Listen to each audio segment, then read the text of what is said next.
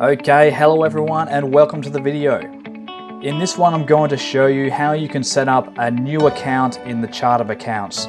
So perhaps you've gone to do the bank rec, we'll go in and have a look at the bank rec here and you've gone to reconcile an item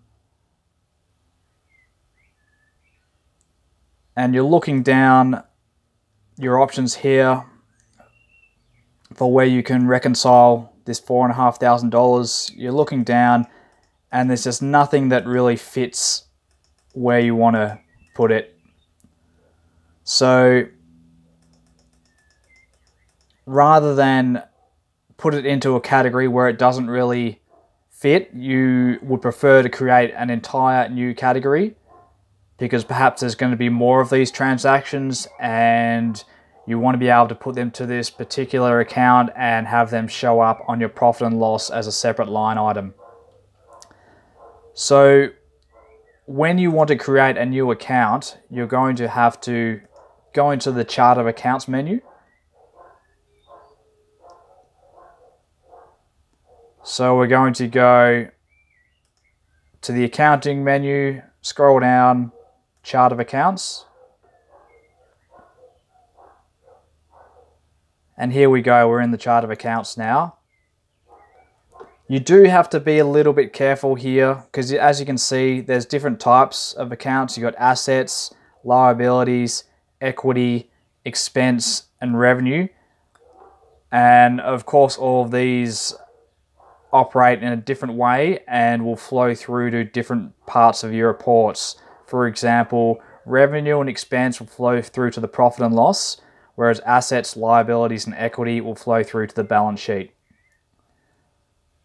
So we're going to go add account. And there's a good little diagram here that shows you how it sort of works. So when you go account type, you'll see under assets, there's current assets, fixed assets, inventory, non-current asset, prepayment. And over here, we know that assets is part of the balance sheet, so it'll show us where it all fits in. So I'll start with profit and loss first because that's where it all starts. Uh, in the income, you've got revenue and sales. Uh, then you've got your direct costs, which is uh, a cost of sale. It might be for inventory purchases or for input costs into manufacturing, that sort of thing. You got other income, which might be bank interest. It generally be income that isn't your core operating income, so it might be bank interest it might be a gain on sale of an asset, something like that. Not your normal sales, that would go at the top here. And then you've got your expenses. So you got your normal expenses, your general overheads, that might be your utilities, your rent, um, things like that. Items that you have to pay regardless of how much revenue you're turning over.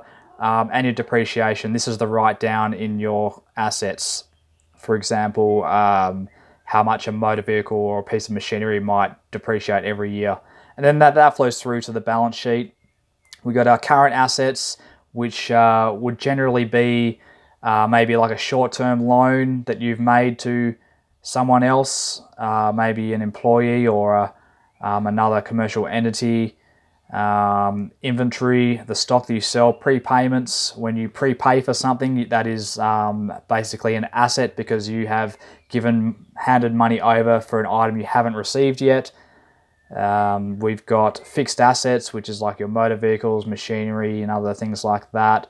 Non-current assets, for example, you might have goodwill on purchase of the business. That would be a non-current asset, or some other kind of intangible or longer-term investment. Current liabilities would be, say, short-term loans under a year. Um, maybe um, someone's paid you a deposit, a customer might have paid you a deposit, that would be a current liability.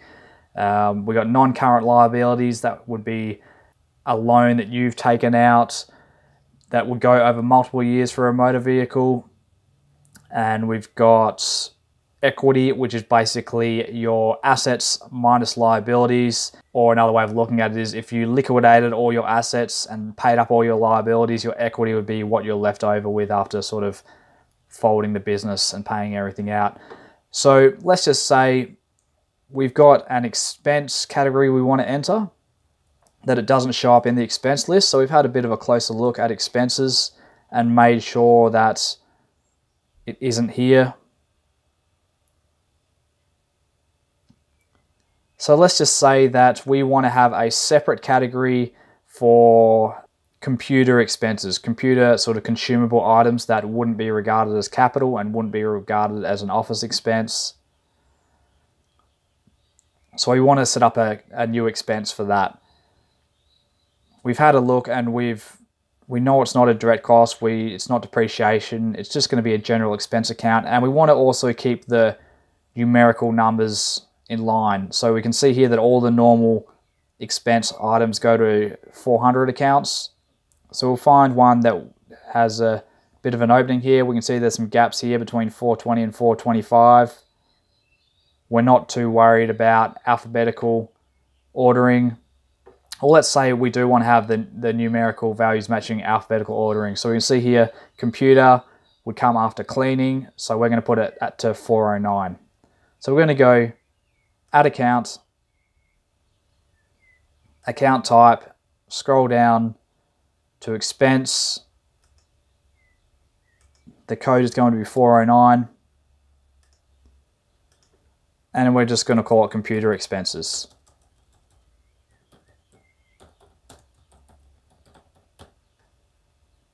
The default tax code is going to be GST on expenses. We don't want to show it in the dashboard watch list. We Perhaps we do want to include it in expense claims. This means when an employee pays for something out of their own pocket, or maybe even a director or someone like that, a business owner, pays from from a personal bank account and they want to have the business then reimburse them for that. So they put in an expense claim to be reimbursed and they want to be able to pick up computer expenses on that expense claim. Enable payments to this account, that's not applicable for this. You can put in a description here if you want. So we might just say low value computer consumables under a thousand dollars because anything over a thousand would put to a capital account yeah, so this would be like, um, you know, keyboards, mouses, cables, anything like that. So we'll go save. Now, we're going to go here. We want to put this to our new account. It's not coming up. We got computer equipment there, but that is a capital account, not the expense account we just created. So for it to come up, we're going to have to do a refresh.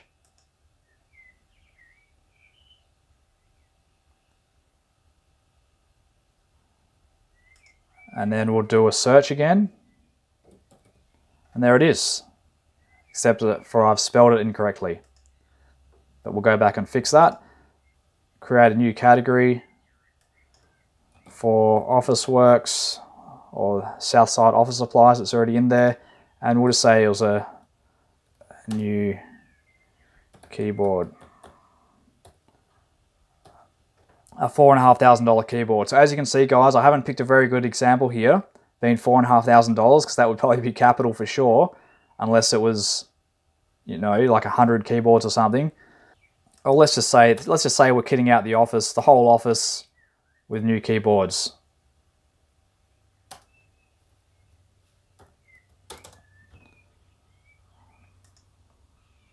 And they cost $45 each. New keyboards multiplied by 100, so we can see it's computer expenses, it's not capital, GST on expenses, so we're going to OK that. Now I need to go back here and fix up my error for where I spelt the account incorrectly.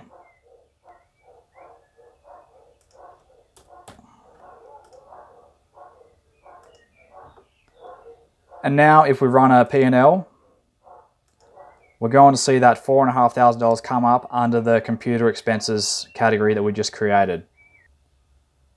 So I'm going to open up the dates here.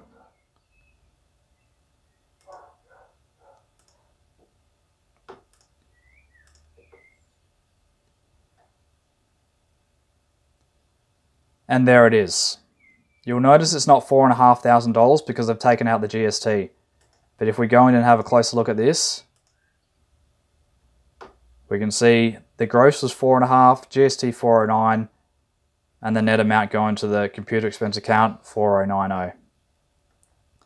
So it's pretty simple, guys. Xero provides a pretty good default chart of accounts list, or maybe your accountant might have set it up when they um, rolled over or set up your Xero and rolled, rolled over your chart of accounts from a previous system or from a, an old profit and loss. But there will be times when you will want to put something to a new account that doesn't exist. So the process in general is pretty straightforward. The only thing that you have to be a bit careful with, like I was saying before, is knowing the difference between your assets, your liabilities, your revenue expense, and your equity. So they got this diagram here that can help you. Your accountant can help you as well. We can help you if you're not sure. That's the main thing you got to be careful of. The rest of it's pretty straightforward. Anyway, guys, if you've got any questions, hit us up in the comment section below. We'll, we'll do what we can to help. If you want to book in a training session, there will be a link in the in the description. We can do some one-on-one training with you or train to a group of staff at your workplace. Other than that, thanks for watching and we'll see you in the next one.